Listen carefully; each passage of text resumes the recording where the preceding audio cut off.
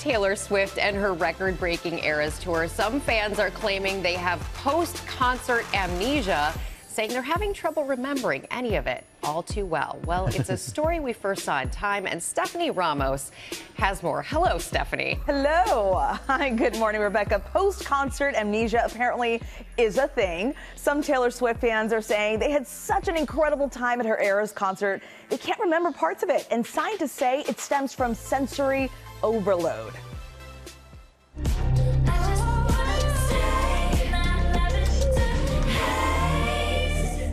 There's a haze Taylor Swift fans are feeling as the pop superstar travels across the country on her sold out Eras tour. The concert overall exceeded every expectation that you could have imagined to have. It's just overwhelming in the best way. Swifties posting on social media the experience was so spectacular, they have shaken off some memories of the show, calling it post concert amnesia. As I keep saying this happened to me, apparently it's universal.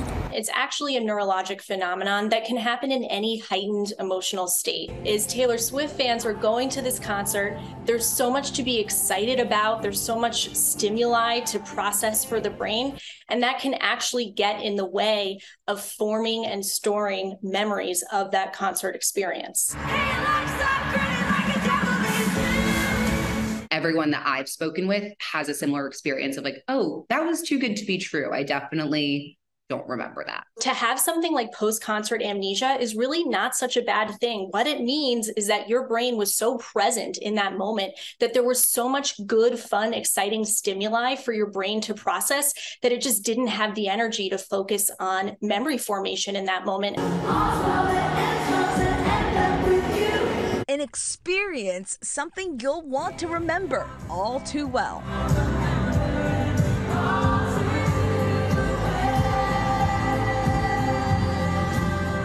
despite how little of it I actually do remember. Um, it was awesome, and I wish I could do it all over again.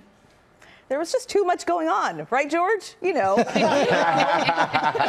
Actually, I mean, Harper Harper insists that she had post-concert amnesia. She was so into it. That's her story. She is sticking to it. There you wow. go. Doctors say it is it isn't a concert-specific phenomenon, by the way. It can happen anytime you're in a highly emotional state. And guys, it is not just Swifties. Some of the BeyHive is reporting the same thing is happening to them after seeing Beyonce. So George, you got to go see Beyonce and report back to us. Only, only if he dresses up. Taylor Swift. All right, Stephanie.